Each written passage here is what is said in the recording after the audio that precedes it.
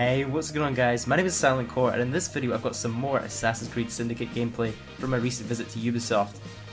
So this is actually the second video that I've posted. If you missed the first one, I'll link it up on screen. I've showed you guys how to make fast money, XP, and get lots of resources in Assassin's Creed.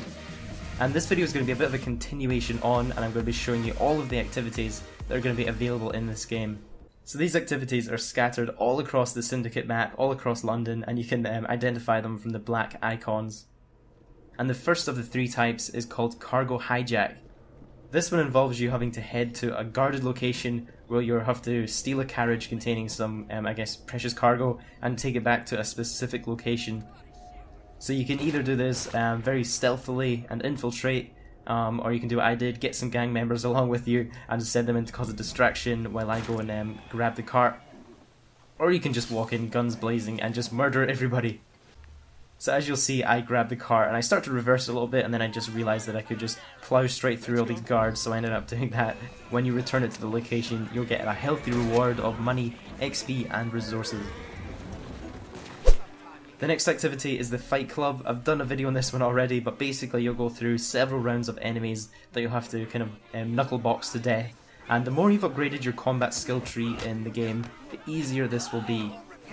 And if you look closely, you can see um, some prompts above the enemy's heads. So I'm playing on the PS4 here, so you'll notice when there's a circle above their head, I can hit that and I can kind of counterpunch them and um, or block. And uh, when there's an X, you can basically headbutt them and break their guard. So if you start hitting them and they're kind of blocking your punches and it's not doing any damage, you can just hit X and your character will just grab them, headbutt them, and uh, you can break right through their guard.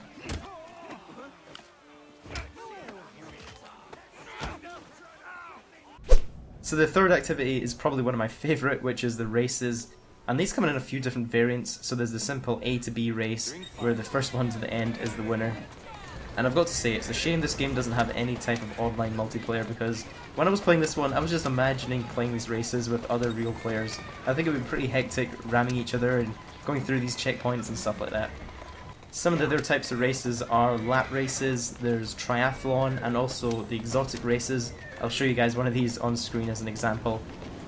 So this one was actually pretty fun. You basically have to run through a series of checkpoints and arrive to the end before the train does, so it's going to be just racing the train basically.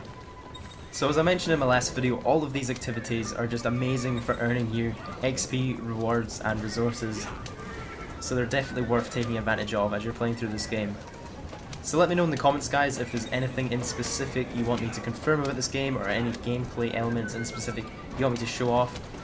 I actually have quite a few hours of gameplay stored up in my hard drive so if there's anything in specific just let me know in the comments and I can put together a video and showcase it for you guys. So if there's anything in specific you guys want to see from Assassin's Creed Syndicate, do let me know in the comments. I've got quite a few hours of gameplay stored up in my hard drive, so if there's anything you want to see or any news or information you want me to confirm, do let me know and I'll try my best to accommodate for it.